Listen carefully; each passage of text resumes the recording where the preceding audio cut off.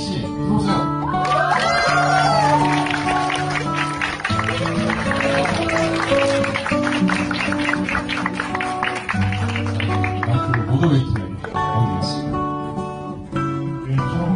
한 가치 등 그런 것들을 기준으로 제가 배우로서의 삶에 계속 어떻게 나아가야 되겠다는 지표를 삼게 된 작품이기도 하고 덕분에 그 힘으로 또 운동력으로 지금도 열심히 또 관객분들 만나고 있고요. 네.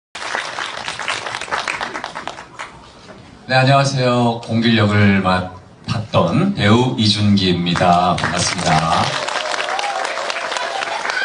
네, 그렇게 해주시면 좋고요. 그래서, 예, 분이 너 거기 있니? 라는 분이 질문을 해주셨는데 감독님과 배우님 두 분이 가장 가슴에 남는 장면은 어디인가 궁금합니다 라고 물어보셨는데 이번엔 배우님부터 한번 해주시면 좋을 것 같습니다 저는 뭐, 너 다시 태어난 모델래? 라는 질문이었는데 어, 또 질문을 주셨어요 감독님과 배우님은 다시 태어나면 뭐가 되고 싶으신지 왜안 태어났다 네, 뭐, 저도 그럴 것 같긴 한데,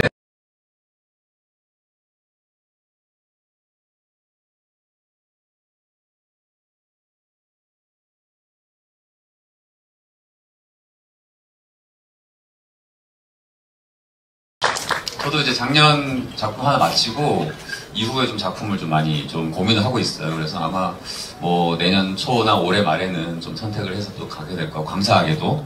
그리고 지금은 아무래도 왕의 남자라는 작품 덕분에 또